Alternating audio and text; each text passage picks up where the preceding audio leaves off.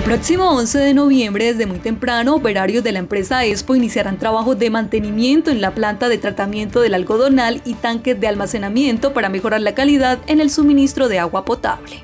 La empresa de Servicio Público Tocaña Especial le quiere informar a toda la comunidad que el día miércoles 11 de noviembre se va a realizar una suspensión del servicio de agua potable a toda la ciudad de Ocaña con la finalidad de que el área operativa realice trabajos complementarios como correctivos y preventivos con la intención de poder asegurar una prestación del servicio de agua potable a toda la ciudad de Ocaña.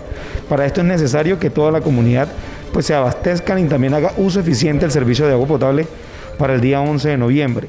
La empresa va a empezar a trabajar con todo su personal operativo y contratista aproximadamente a eso de las 5 de la mañana para poder trabajar en el transcurso del día y habilitar el servicio de agua potable. Nosotros calculamos más o menos que a eso de las 4 o 5 de la tarde ya estemos restableciendo el servicio. Sin embargo, pueden suceder cualquier imprevisto que hay que trabajar sobre la marcha.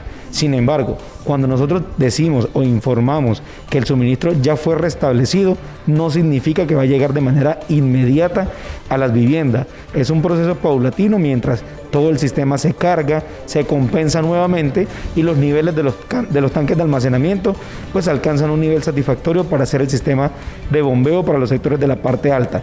Sin embargo, la empresa tiene contemplado activar su protocolo de contingencia, que es suministrar el servicio de agua potable a través de carrotanques, mientras ya normalizamos la prestación del servicio. Lo importante es abastecerse del líquido necesario no abastecerse incluso de más para evitar cualquier tipo de colapso mayor en las redes de acueducto. Se espera que la comunidad acate las recomendaciones y puedan abastecerse del preciado líquido mientras se adelantan los trabajos por parte de la empresa ISO.